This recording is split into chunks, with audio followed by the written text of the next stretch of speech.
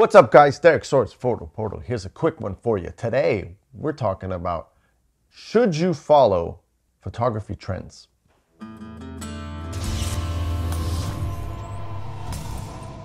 If you're starting out as a photographer, you might be online often checking what other people are doing and to try to get ideas. And that is great. That is fine. I do that as well. Now, when it comes to trends, I'm talking editing style trends. If you're starting out in photography, you may be trying to find your style, how you're gonna make your pictures look, how you're gonna edit, how you're going to get that look. I had tried for years to try to get it and I finally feel like I have it. The one thing I never did was follow those trendy style edits. That's what I'm really talking about right now. Because when it comes to following a trend in a photo pose or a photography shot where people are doing these cool shots and you want to do the same shot, I'm all for it. But when it comes to editing style, I'm talking about the color of your photography. I'm talking about the way you edit your picture. Like years ago, there was a blue an orange style edit going around. And then from there, there was the crush the greens style, and it was just this weird little flat green. And then you had the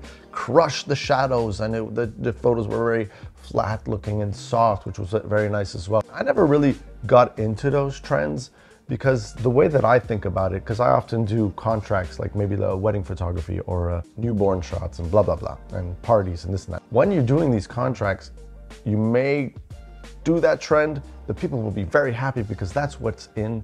But the way I think about it is 10 years down the line when they're going through their album and they're showing to somebody else, they're gonna say, what's up with all the orange and the blue? What's happening? What's with all these crushed greens? That's weird.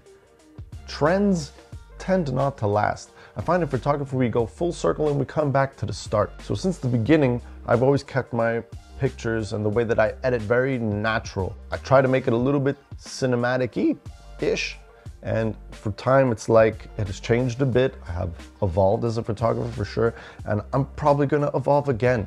But I try to keep that basic as real as possible. No AI giant skies that don't exist, no colors that don't exist, just what the eye can see with a little bit of tweakage in there. I don't know if you get what I'm saying.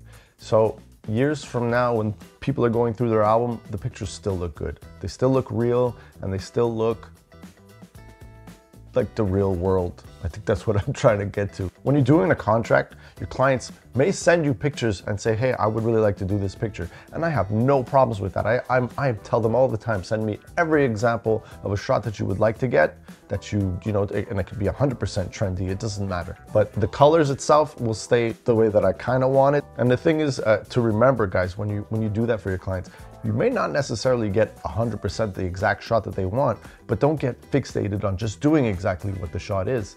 You know, you can try that shot and then mix it up. Try a different angle, try a different solution, try a different pose in there, all mixed in with the style of the shot that they were looking for in the first place. And you might go ahead and find something that is more true to you and more true to the moment. At the same time, guys, don't take everything that I say as gold. I'm still learning.